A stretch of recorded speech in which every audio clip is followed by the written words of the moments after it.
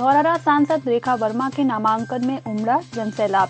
नगर पंचायत के पूर्व अध्यक्ष दिनेश गुप्ता, टीटू भैया के नेतृत्व में लखीमपुर रवाना हुए हज़ारों लोग। देश के प्रधानमंत्री नरेंद्र मोदी और सांसद रेखा वर्मा के लग रहे जिंदाबाद के नारे। साधु संत ही नहीं, बल्कि सिख समुदाय के लोगों का लगा जमावड़ा। नामांकन में जा रहे लोगों ने दी प्रतिक्रिया। एक बार फिर से बनेगी केंद्र में मोदी सरकार। है हम लोग मालो क्षेत्र पर जा रहे हैं, सांसद जी नामांकन करने जा रहे हैं, उनके साथ में हैं रेखा वर्मा जी के साथ में। मोदी जी को जिताना है कि हमारे लोगों का मान लो अभिमान है आपकी दुआएँ से और सब दिन रहेगा।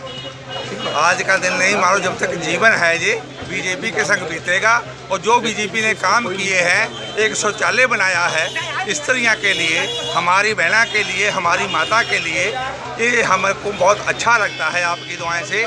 जो मान गरीब आदमी को वास मिला है, ये हमारी एक दिल की भावना है। हमको कुछ नहीं चाहिए आपकी दुआएँ से, ना जोगी जी से, ना मोदी जी से। पर जो मेरे बहन भाई, यूपी में 80 साल में आपकी दुआएँ से इस जलील पर पहुँच चुके हैं कि उनका किसी ने मान किया ही नहीं, किसी ने जाना ही नहीं कि इनका मंडीकरण क्या है। यहाँ आज कुछ थोड़ा आपकी दुआएँ से बीजेपी आने में हमारे लोगों की कुछ पूछ होने लगी है कि किसान का क्या वैल्यू है, किसान का धान का क्या रेट है और किसान के गेहूँ की क्या रेट है।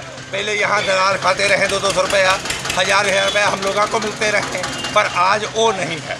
मैं आज ये बताता हाथ बन के कहता हूँ कि ए भी लेवी बंद होए मंडीकरण शुरू करें जोगी जी।